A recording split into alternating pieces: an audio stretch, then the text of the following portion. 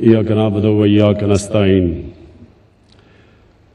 army chief general Bajwa service chiefs میرے parliamentary colleagues خواتین و حضرات اور جن کے لیے آج فنکشن ہے، پاکستان کے شودا کے لوائکین میں آج آپ سب کو خوش آمدید کہتا ہوں۔ اور میں نے ابھی جو فلم دیکھی 1965 کے اوپر، تو میں صرف اپنی بات شروع کرتا ہوں کہ 6 سپٹمبر انیس سو پینسٹھ، بارہ سال کا تھا میں۔ تو مجھے یاد ہے کہ ہمارے گھر زمان پاک سے جب شیلنگ کی رات کو شیلنگ کی آوازیں آنے شروع ہوئی اور پھر چھت پہ چڑھ کے بوم بلاسٹ کی ہمیں ہمیں نظر آتی تھی اپنے چھت سے۔ تو مجھے وہ کبھی نہیں بھولتا کیونکہ میں اپنے ماں باپ کی شکلوں پہ خوف دیکھا اس, اس رات۔ ڈر تھا کہ پتہ نہیں کیا ہوگا۔ سات سپٹمبر کو زمان پاک میں ہمارے جتنے بھی بڑے تھے ایک کاؤنسل آف وار ہوئی۔ سب جمع ہوئے۔ ایک رومر تھی کہ رات کو ہندوستان کے پیرا ٹروپرز نے لاہور میں ڈراپ ہونا ہے۔ تو ہماری پھر ایک ایک سول ملٹ سول فورس بنی۔ سب جتنے بھی میرے بڑے کزنس تھے، انہوں نے زمان پاک میں مورچہ بنایا۔ انڈین پیرا ٹروپرز کی انتظار میں۔ میں بارہ سال کا تھا۔ میں نے اپنے والد کی بندوق پکڑی اور میں بھی پہنچ گیا ان کے ساتھ گارڈ ڈیوٹی دینے کے لیے۔ جیسے ہی میں وہاں پہنچا، میرے کزن نے مجھے واپس بھیج دیا کہ نہیں، تم بہت چھوٹے ہو، تم نہیں کر سکتے یہ۔ بڑی مجھے تکلیف ہوئی کہ یہ کیا کیا، میں کوسا اپنے آپ کو، میں صرف بارہ سال کا ہوں۔ بہرحال میں گھر چلا گیا۔ اگلے دن پتا چلا کہ انڈین پیرا ٹروپرز تو نہیں آئے، لیکن میرے کزنز نے رات کو ایک ہمارے رشتہ دار کے اوپر گولیاں چلا دی خوش قسمتی سے ان کے نشانے برے تھے، اس لیے وہ بچ گئے۔ تو مجھے ابھی بھی یاد ہے کہ جس طرح کی ایک پاکستان میں وہ جو ایک لہر تھی، ساری قوم فوج کے ساتھ کھڑی تھی۔ یعنی جو میں نے وہ جذبہ دیکھا تھا، میں نے وہ کبھی ویسا جذبہ آج تک نہیں دیکھا۔ ہم سب فوجی بننا چاہتے تھے۔ اگر میں کرکٹ کی طرف نہ لگ جاتا تو ہو سکتا ہے میں بھی آج ریٹائرڈ فوجی ہوتا۔ تو میں آج اپنی فوج کو خراج تحسین پیش کرنا چاہتا ہوں۔ مجھے بڑی اچھی طرح یاد ہے۔ 1965 جس طرح ہماری فوج نے لاہور کو ڈیفینڈ کیا اور مجھے یاد ہے کہ ہمیں کتنا فخر تھا۔ اور یہ جو ابھی وار آن ٹیرر جس کی ہم نے ابھی ویڈیو تصویریں بھی دیکھی اور جنرل باجوہ آپ نے بات بھی کی، میں اس کے خلاف تھا۔ میں نہیں چاہتا تھا کہ پاکستان کسی اور کی جنگ میں پڑے۔ لیکن جب اور انشاءاللہ یہ میرا آپ سب سے وعدہ ہے، کبھی کبھی پاکستان کسی اور کی جنگ میں کبھی شرکت نہیں کرے گا۔ ہمارا کام ہے، ہم اپنے لوگوں کے لیے کھڑے ہوں۔ اور ہماری فورن پالیسی بھی انشاءاللہ وہ ہوگی جو ہمارے پاکستانیوں کی بہتری میں ہوگی۔ تو جب یہ ہوگی جنگ، اس کے بعد جو ہمارا ملک جس امتحان سے گزرا جس طرح کی دہشت گردی ہوئی، ہماری فوج اور ہماری خاص طور پہ انٹیلیجنس ایجنسیز، جو ان کی پرفارمنس تھی، آپ دیکھ سکتے ہیں کہ اور کتنی اور فوجیں اس طرح کی جس طرح کی دہشت گردی پاکستان میں ہوئی ہے، کتنی فوجیں اس کا مقابلہ کر سکتی تھی میں جب سے مجھے یہ ذمہ داری ملی ہے، تو میں نے ایک جی ایچ کیو کے اندر چھ گھنٹے کی بریفنگ لی۔ پھر میں نے نیول اور ایئر فورس چیف سے بھی بریفنگ لی۔ تو میں اس نتیجے پہ آیا ہوں کہ اس وقت اگر ایک ادارہ جو انٹیکٹ ہے، جو کہ فنکشن کر رہا ہے، وہ آج ہماری فوج ہے۔ اور وہ اس لیے فنکشن کر رہا ہے۔ کہ کسی قسم کی پولیٹیکل انٹرفیئرنس نہیں ہے پروفیشنلزم ہے میرٹ کا سسٹم ہے۔ جب تک جب تک ایک ادارے میں میرٹ ہوتی ہے پروفیشنلزم ہوتی ہے، وہ ادارہ چلتا ہے۔ ایک وقت ہماری بیوروکریسی ہماری سول سروس نائنٹین سکسٹیز میں سارے ایشیا میں بہترین سول سروس پانی جاتی تھی۔ کیونکہ وہ بھی پروفیشنل تھی تب میرٹ تھی۔ سب سے مشکل امتحان تھا سول سروس کا امتحان۔ اور جب بھی جب بھی ایک میرٹ کا سسٹم ختم ہوتا ہے پولیٹیکل انٹرفیئرنس ہوتی ہے، اور ہماری طرح کے پالیٹیشنز کرتے ہیں، تو جب ایک ملک کے ادارے تباہ ہوتے ہیں، تب ملک تباہ ہوتا ہے۔ ملک کی یاد رکھیں کوئی بھی جنگ، بمباری ملک کو تباہ نہیں کرتی۔ جرمنی اور جاپان، سیکنڈ ورلڈ وار میں تباہ ہو چکے تھے۔ لیکن دس دس سال میں پھر کھڑے ہو گئے۔ کیونکہ ان کے ادارے انٹیکٹ تھے۔ تو ہم نے جو جو پاکستانیوں کے لیے سبق ہے وہ یہ کہ اس ملک کو اللہ نے سب کچھ دیا ہے۔ کسی چیز کی کمی نہیں ہے۔ آپ نے کوئی ویژولز دیکھے کہ ہمارے ملک کی ڈائیورسٹی کتنی ہے؟ کیا کیا اللہ نے دیا اس ملک میں؟ آپ کو اندازہ ہی نہیں ہے کہ کتنا اور اللہ نے دیا ہے۔ ہمیں یہی نہیں پتا کہ ہمارے ملک میں گیس کتنی ہے۔ ہمیں پتہ ہے کوئلے کے اربوں اربوں ٹنز کے ریزروز ہیں۔ تانبا ہے، سونا ہے، زرخیز زمین ہے، بارہ موسم ہے سب سے اونچے سے سمندر سب سے سٹیپ گریڈینٹ ہے۔ مطلب کہ سب کچھ اگ سکتا ہے یہاں۔ لیکن ہم نے اپنے ادارے مضبوط کرنے ہیں۔ میریٹوکریسی لے کے آنی ہے۔ اور سب سے امپورٹنٹ چیز، میں آپ کے سامنے ایک کیونکہ ہمارا واحد ملک اسلام کے نام پہ بنا تھا، تو میں آپ کے سامنے یہ تاریخ تاریخ رکھنا چاہتا ہوں۔ چھ سو دس میں نبی صلی اللہ علیہ وسلم کو نبوت ملی۔ چھ سو بیس میں صرف چالیس لوگ مسلمان ہوئے تھے۔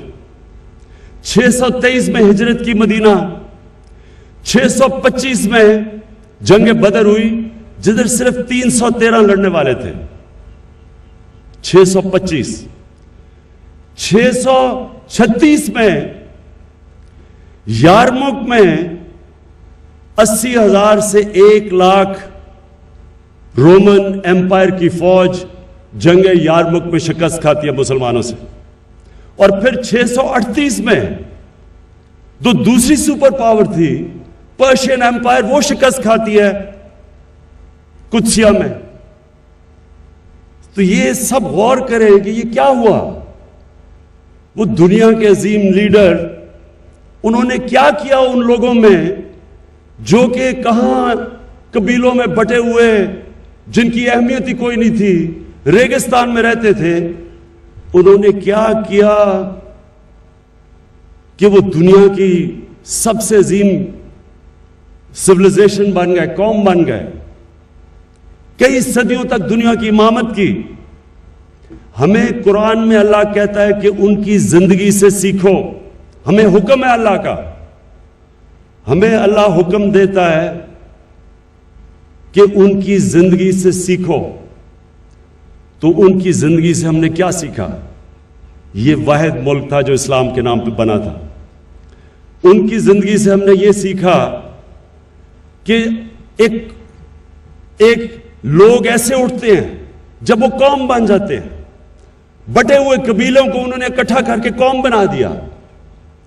اور انہوں نے کیسے قوم بنایا؟ ہر انسان کا سٹیک ہو گیا اس قوم کا حصہ بننے میں۔ جب ایک انسان کو انصاف ملتا ہے مطلب یہ کہ طاقتور کمزور پہ ظلم نہیں کر سکتا۔ جب ایک کمزور یہ سمجھتا ہے کہ ریاست میری حفاظت کرے گی اگر میرا طاقتور سے مقابلہ ہو گیا، تو وہ پھر اس ریاست سے جڑ جاتا ہے، وہ قوم کا حصہ بن جاتا ہے۔ جب وہ یہ سمجھتا ہے کہ ریاست اگر کمزور ہوں میری مدد کرے گی، جو پہلی دنیا کی تاریخ کی فلائی ریاست بنائی تھی نبی صلی اللہ علیہ وسلم نے، میرٹ کا نظام لے آئے۔ جو اچھا کرتا تھا، اوپر آ سکتا تھا۔ یہ نہیں کہ صرف ایک ایلیٹ کے لیے ایک ملک بنا ہوا تھا اور انہوں نے تعلیم کے اوپر زور دیا۔ کوئی قوم تعلیم کے بغیر نہیں اٹھتی۔ وہ پرنسپلز انہوں نے سیٹ کیے تھے۔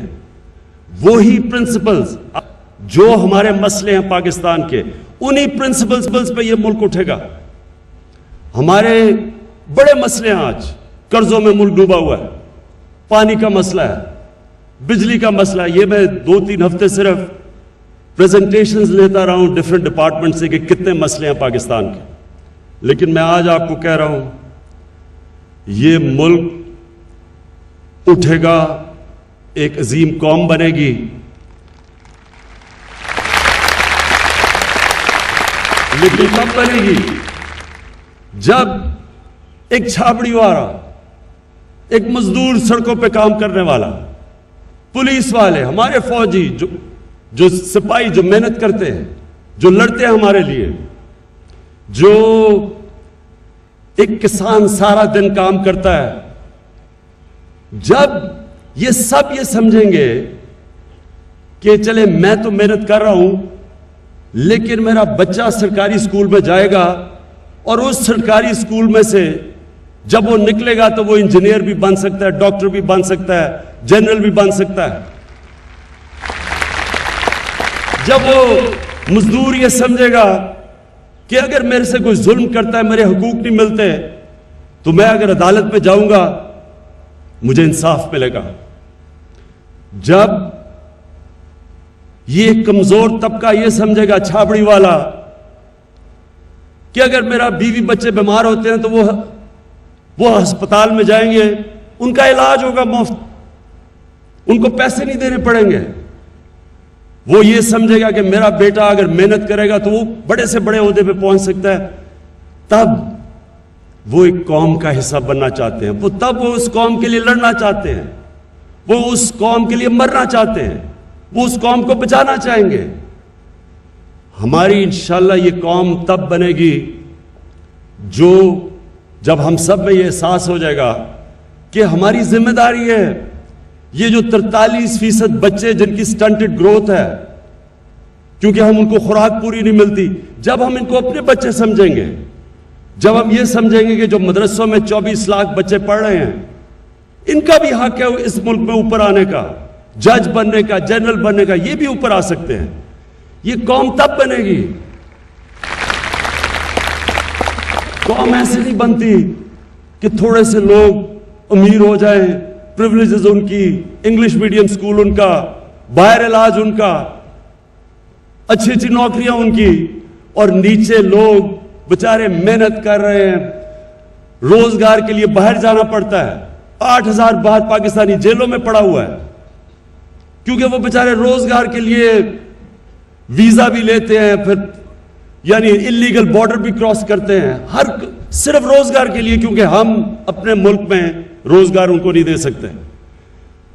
تو یہ آج میں اب سب کو یہ کہنا چاہتا ہوں کہ دیکھیں، ہمارے لیے نبی صلی اللہ علیہ وسلم نے وہ پرنسپلز دے دیے تھے، جس سے وہ بٹے ہوئے عرب، ریگستان میں رہنے والے، غریب ترین لوگ، ان کو اٹھا کے انہوں نے دنیا کی امامت کروائی۔ یہ تاریخ کا حصہ ہے۔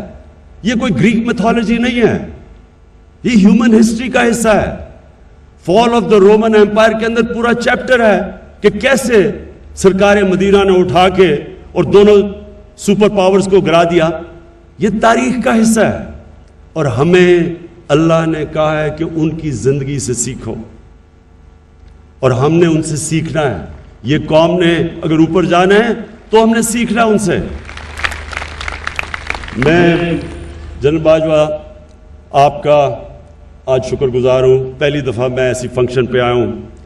میں یہ آپ کو کہنا چاہتا ہوں کہ یہ جو ایک متھ بنائی ہوئی ہے سول ملٹری ریلیشن یہ کوئی جی آپس میں کوئی بڑی کشمکش چل رہی ہے۔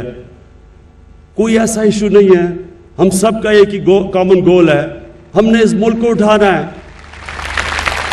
ہمارا جینا مرنا پاکستان ہے۔ میرا یہ رہنا، مرنا، جینا باہر میں نے کمائی کی، لیکن سارا کچھ آج میرا پاکستان میں ہے۔ میں اس ملک کے ساتھ ہی اوپر جاؤں گا، اسی کے ساتھ نیچے جاؤں گا۔ اور مجھے پتا ہے، آپ آپ بھی اسی طرح سوچتے ہیں۔ اور پاکستان فوج ایک ادارہ ہے۔ اور انشاءاللہ باقی سارے ملک کے اندر اداروں کو بھی، جو ادارے کمزور ہوئے، ان کو بھی ہم اٹھائیں گے۔ یہ مثال ہے ہمارے سامنے کہ ایک ادارہ اگر انٹیکٹ ہوتا ہے تو یہ جو یہ جنگ لڑے ہیں پچھلے پندرہ سال، جس میں سارے ہمارے دشمن کود پڑے تھے، پوری انہوں نے کوشش کی پاکستان میں تقسیم کرنے کی، لڑائی کرنے کی، دہشت گردی کرنے کی، پورا فائدہ اٹھایا جب ہم کسی اور کی جنگ میں گئے۔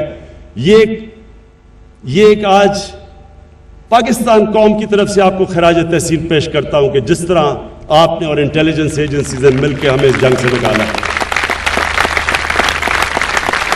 میں شودا کا جو ان کے لوائقین ہیں، میں ان کو ایک صرف آخر میں بات کہنا چاہتا ہوں کہ دیکھیں، ہم جب نماز پڑھتے ہیں تو ہم اللہ سے کہتے ہیں کہ اللہ، ایک ہی چیز مانگتے ہیں اللہ سے، کہ اللہ ان کے راستے پہ لگا جن کو تو نے نعمتیں بخشی ہیں۔